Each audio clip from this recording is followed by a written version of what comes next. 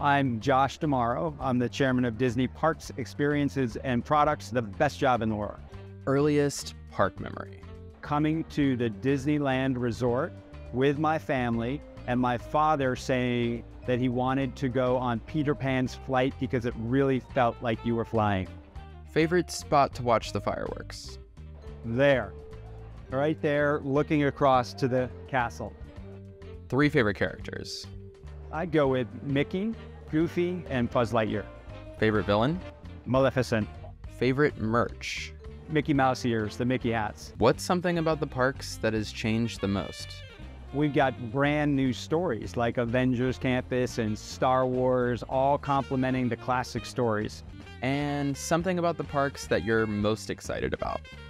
Our opportunities to tell new stories, they are without bound. The future is really bright for the next hundred years.